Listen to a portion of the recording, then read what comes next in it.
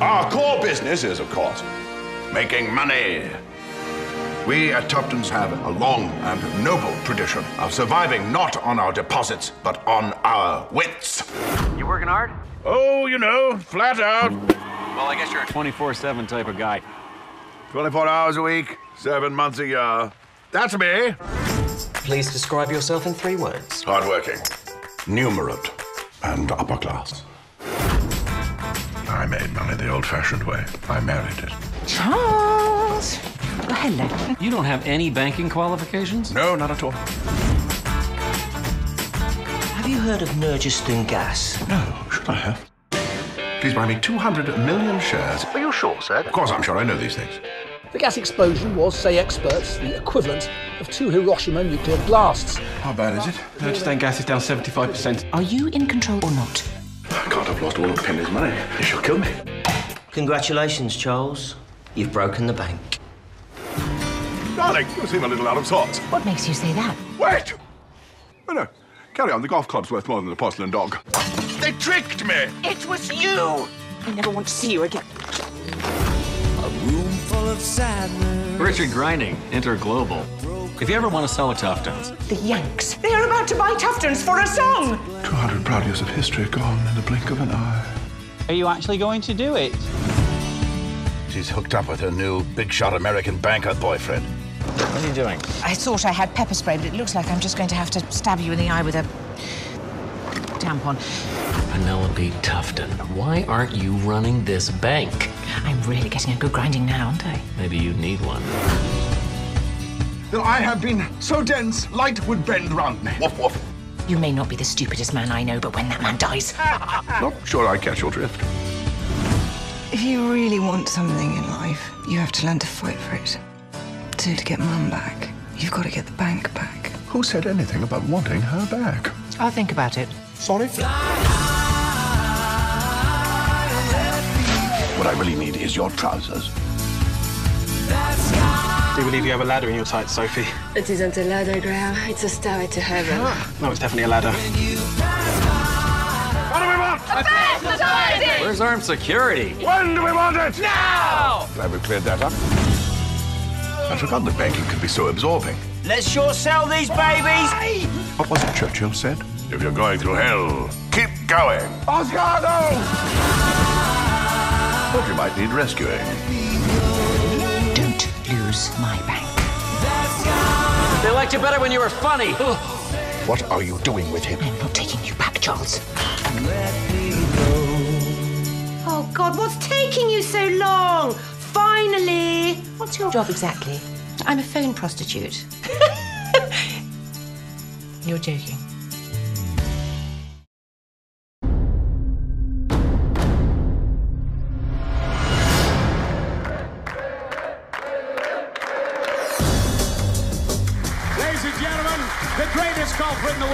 Severiano Ballesteros. Said he had a lot of imagination. That's fantastic. He was more like an artist, painting on a beautiful canvas. Touch of class, baby. Touch of class. Touch of class.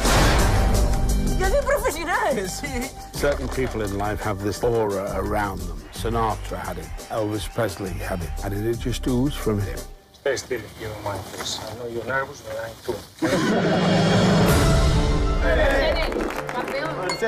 St. Andrews, 84. The best moment of my career. So I thought it was a good idea to stamp that forever in my arm. Remember, Seve, you're the best. no balls, no clubs, no money, nothing. Necesito algo de dinero, Luis. Se ve lo vale. And the more difficult are the things, the more you try. In my mind, I always dream and I always visualize myself become a champion. Oh, and the young matador is absolutely delighted. He said, the one with the biggest heart will win. I thought, well, you mean you, don't you? Life is like sport. You have to fight every day. The key is never give up. Coming into the Masters, my father was sick. As on the 17th, Seve hit it in the water have it in my heart because I didn't win for my father. Because they were youngest of four brothers and he always had to prove himself to the other three.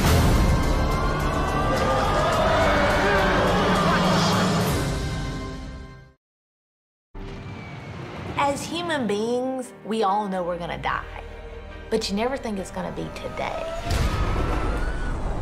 I had never heard anything like that before. I said my prayers I ask God to take care of my son.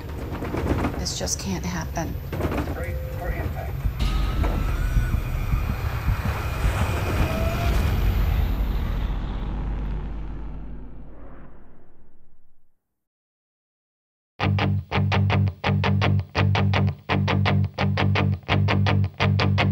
Unless somebody tells me to stop or I actually die, I will be world's strongest man. All my life I've been searching for something, something never comes, never leads to nothing, nothing satisfies, but I'm getting close, closer to the prize at the end of the rope. Eddie Hall. He's got it. Definitely in the top like two or three guys in the world. He is like the next generation of strongman. You know, he takes strongman to a whole nother level. He's a character. So violently strong.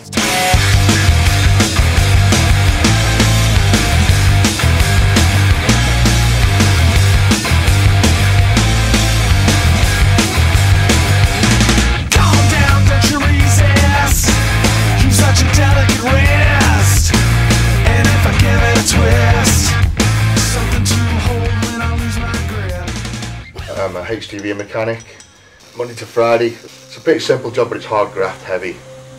He's always been a tall, quite muscly lad. Um, and then as a teenager, really came into his own once he started doing weights. My, my mum's a swimming teacher. She spurred me on to get, get into swimming. That led into swimming clubs. There was one coach who um, drilled it into me. You train hard, work hard, you can, you can win things. He took me to my first nationals. I won. I blew everyone away. I went to my second nationals. I blew everyone away.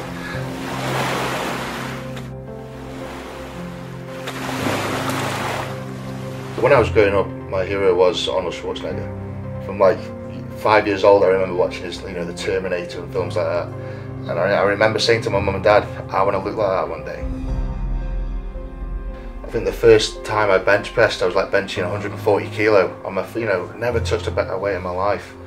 In an average week of training, I'll, um, I'll probably put in at least four sessions a week, you know, just solid weightlifting. I'm in the gym, I work hard, I go to train. You know, I go and I lift big fucking weights. And my daily intake of food usually equates to about 10,000 calories, half a kilo of carbs, three, 400 gram of meat, steaks and chicken, porridge, little flapjack, protein shake, beef jerky, a couple of poached eggs on toast, banana, an apple, an orange, a bit more beef jerky, green tea, rice, chocolate bar, yogurt, couple of bags of crisps, sandwich, a steak, chips, chicken, pasta. I'll get up for a piss in the middle of the night and I've got food by the side of the bed. You know, so people either love him or hate him. It's the sort of personality he is. And just funny like me, you know, he, he doesn't take much seriously. Strongman needs a, a name, needs a face. Ed Hall's got that, he's got all that, he ticks the boxes. I've known Ed since he was like 19 years old. Can't believe how how good he's gotten, you know. The, the only Brit that's probably got the potential to win worlds, in all honesty. The world stage, Eddie's going to be one of them.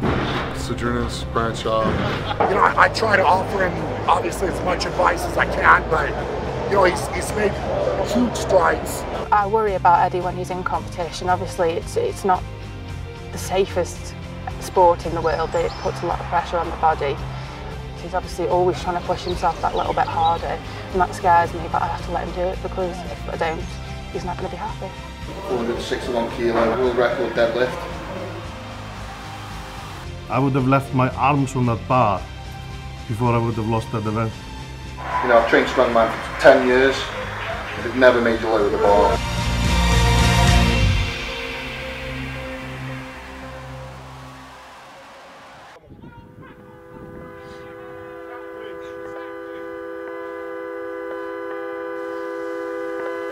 Hoping one day it pays off just for that one special moment where I'm handed a trophy and, and hopefully all my problems will go away.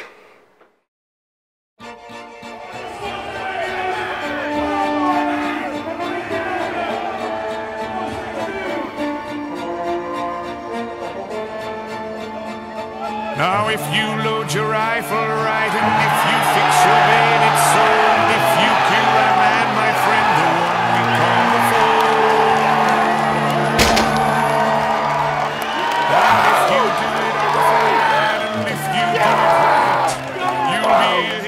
every time this, the people see those guys moving this huge amount of weight, I mean, they go crazy. Congratulations, and I hope you're safe. I'll be back. You won't believe in it anymore. It's an illusion. It's an illusion.